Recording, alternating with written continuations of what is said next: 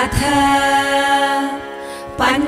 पञ्चमोऽध्यायः सन्न्यासयोगः अर्जुन उवाच सन्न्यासं कर्मणां कृष्ण पुनर्योगं च शंससि यच्छ्रेय एतयोरेकं तन्मे ब्रूहि सुनिश्चितम् അർജുനൻ പറഞ്ഞു അല്ലയോ കൃഷ്ണ സന്യാസവും പിന്നെ കർമ്മയോഗവും അങ്ങ് ഉപദേശിക്കുന്നു.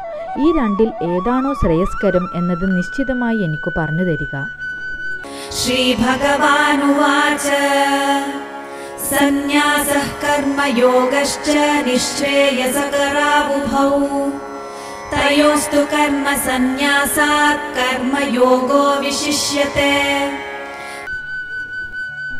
ശ്രീ ഭഗവാൻ പറഞ്ഞു സന്യാസവും കർമ്മയോഗവും രണ്ടും മുക്തിപ്രദമാണ്.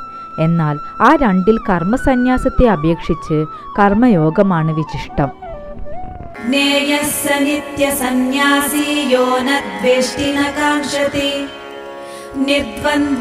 മഹാബാഹോ സുഖം ബന്ധാത്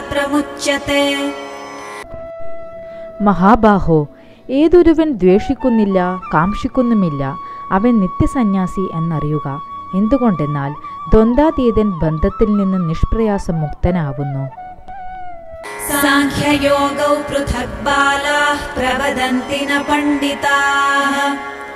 ഏകമപ്യാസ്ഥിതഃ ഫലം. യോഗവും വെവ്വേറെയായി ബാലിശന്മാർ പറയുന്നു. പണ്ഡിതന്മാർ പറയുന്നില്ല. ഒന്നെങ്കിലും വേണ്ടവിധം അനുഷ്ഠിക്കുന്ന പക്ഷം രണ്ടിന്റെയും ഫലം ലഭിക്കും. यत्साङ्ख्यैः प्राप्यते स्थानं तद्योगैरपि गम्यते एकं साङ्ख्यं च योगं च यः पश्यति स पश्यति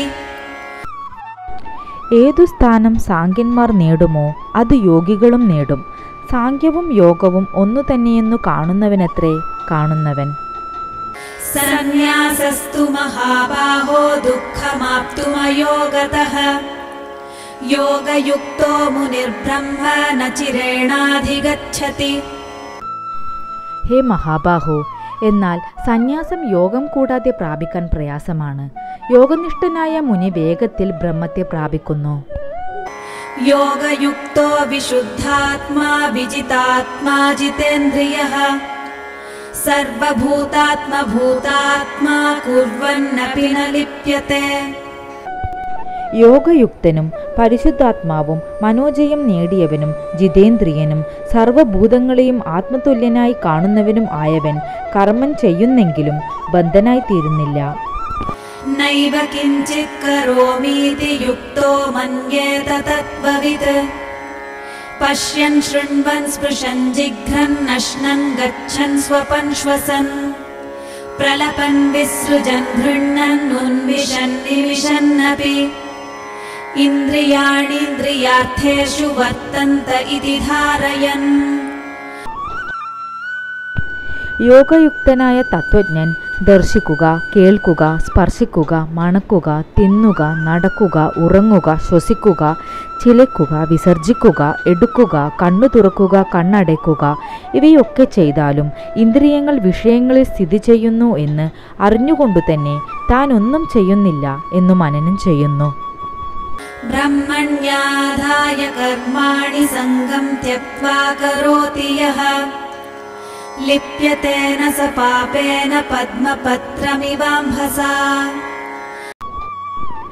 ആര് ആസക്തി കൈവിട്ട് ബ്രഹ്മത്തിൽ സമർപ്പിച്ച് കർമ്മം അനുഷ്ഠിക്കുന്നുവോ അവൻ വെള്ളം കൊണ്ട് താമരയില എന്ന പോലെ പാപത്താൽ മലിനമാക്കപ്പെടുന്നില്ല कायेन मनसा बुद्ध्या केवलैरिन्द्रियैरपि योगिनः कर्म कुर्वन्ति सङ्गम् त्यक्त्वात्मशुद्धये ശരീരം കൊണ്ടും മനസ്സുകൊണ്ടും ബുദ്ധി കൊണ്ടും ഇന്ദ്രിയങ്ങൾ മാത്രം കൊണ്ടും ആത്മശുദ്ധിക്കു വേണ്ടി യോഗികൾ നിസ്സംഗരായി കർമ്മങ്ങൾ അനുഷ്ഠിക്കുന്നു युक्तः कर्मफलम् त्यक्त्वा शान्तिमाप्नोति नैष्ठिकीम् अयुक्तः कामकारेण फले सक्तो निबध्यते യോഗയുക്തൻ കർമ്മഫലം ഉപേക്ഷിച്ച് ദൃഢപ്രതിഷ്ഠമായ ശാന്തി കൈവരിക്കുന്നു.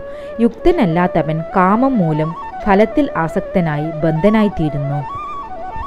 സർവകർമാണി മനസാ സന്യസ്യാസ്തേ സുഖം വശീ.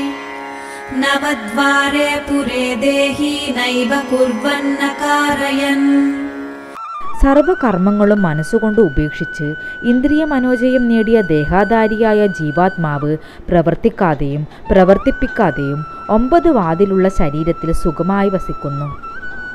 ന ലോകസ്യ സൃജതി പ്രഭു. ന സംയോഗം സ്വഭാവസ്തു പ്രവർത്തതേ ഈശ്വരൻ ലോകത്തിന് കർത്തൃത്വം സൃഷ്ടിക്കുന്നില്ല. കർമ്മങ്ങളുമില്ല കർമ്മഫല ബന്ധങ്ങളുമില്ല. എന്നാൽ സ്വഭാവമാണ് പ്രവർത്തിക്കുന്നത്.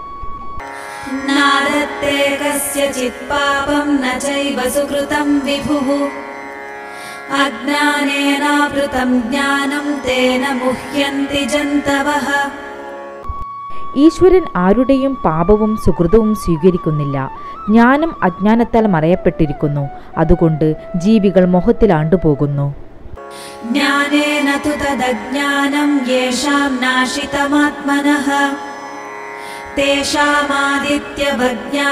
പ്രകാശയതി തത്പരം. എന്നാൽ ആർക്ക് ജ്ഞാനത്താൽ ആത്മാവിന്റെ ആ അജ്ഞാനം നശിച്ചിരിക്കുന്നുവോ? അവർക്ക് ആദിത്യൻ എന്ന പോലെ ജ്ഞാനം പരമമായ ബ്രഹ്മത്തെ പ്രകാശിപ്പിക്കുന്നു.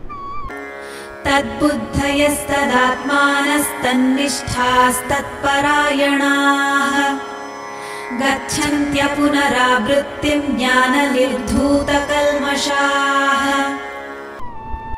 ബ്രഹ്മത്തിൽ മനസ്സൂന്നിയവരും ബ്രഹ്മതാതാത്മ്യം പ്രാപിച്ചവരും ബ്രഹ്മനിഷ്ഠരും ബ്രഹ്മത്തെക്കുറിച്ചല്ലാതെ മറ്റൊരു ചിന്തയില്ലാത്തവരുമായവർ ജ്ഞാനത്താൽ പാപമകന്ന് മോക്ഷപദത്തെ പ്രാപിക്കുന്നു. വിദ്യാവിനയ സമ്പന്നേ ബ്രാഹ്മണേ ഗവിഹസ്തിനി പണ്ഡിതാ സമദർശിനഃ. വിദ്യാഭ്യാസവും വിനയവുമുള്ള ബ്രാഹ്മണനിലും പശുവിലും ആനയിലും പട്ടിയിലും ചണ്ടാലനിലും ബ്രഹ്മജ്ഞാനികൾ സമദൃഷ്ടികളാകുന്നു.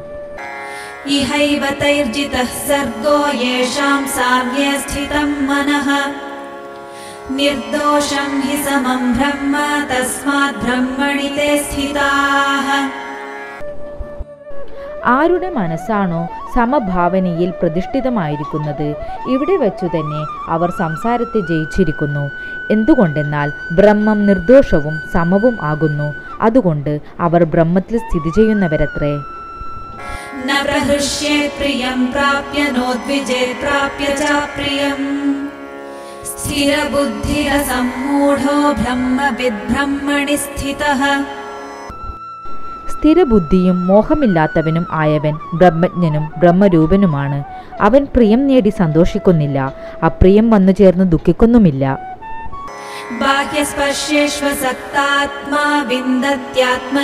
സുഖം സബ്രഹ്മയോഗയുക്താത്മാ ബാഹ്യവിഷയങ്ങളിൽ അനാസക്തനായവൻ ആത്മാവിൽ ഏതു സുഖം അനുഭവിക്കുന്നുവോ അത് ബ്രഹ്മത്തിൽ യോഗയുക്താത്മാവായിട്ടുള്ള അവൻ എന്നും അനുഭവിക്കുന്നു ये हि संस्पर्शजा भोगा दुःखयोनय एव ते आद्यन्तवन्तः कौन्तेय न तेषु रमते बुधः ഹേ കൗന്ദേയ ഏത് വിഷയസുഖങ്ങളാണോ ഇന്ദ്രിയങ്ങളുടെ വിഷയസമ്പർക്കം കൊണ്ടുണ്ടാകുന്നത്? അത് ദുഃഖപ്രദം തന്നെ. ആദ്യവും അന്തവും ഉള്ളവയുമാണ്. വിദ്വാൻ അവയിൽ രമിക്കുന്നില്ല.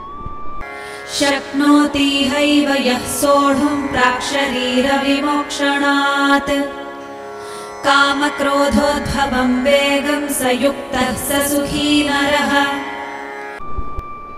ആരാണോ ഇവിടെ വെച്ചു തന്നെ ശരീരനാശനത്തിനു മുമ്പ് കാമക്രോധങ്ങൾ ഉളവാകുന്ന ക്ഷോഭത്തെ നിയന്ത്രിക്കാൻ കഴിവ് നേടുന്നത് അവൻ യോഗയുക്തനാണ്. ആ മനുഷ്യൻ സുഖം അനുഭവിക്കുന്നവരുമാകുന്നു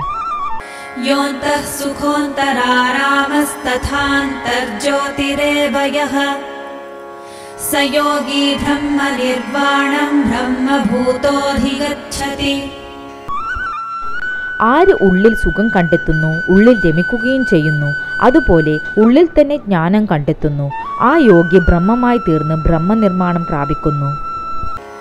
ലഭന്തെ ബ്രഹ്മനിർവാണം ഋഷയ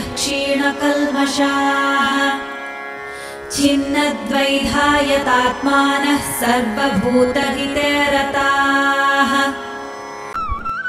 കൽമഷം ക്ഷയിച്ചവരും സംശയഹീനരും മനോജയം നേടിയവരും സർവഭൂതങ്ങളുടെയും ക്ഷേമത്തിൽ തൽപരരുമായ ഋഷിമാർ ബ്രഹ്മാനന്ദം നേടുന്നു. കാമക്രോധവിയുക്താനാം യതീനാം യതചേതസാം. അഭിതോ ബ്രഹ്മനിർവാണം വർത്തത്തെ വിദിതാത്മനാം. ആത്മജ്ഞരും കാമക്രോധങ്ങളില്ലാത്തവരും മനസ്സിനെ നിയന്ത്രിച്ചവരും ആയ യോഗികളുടെ ചുറ്റും ബ്രഹ്മാനന്ദം വിലസുന്നു. സ്പർശാൻ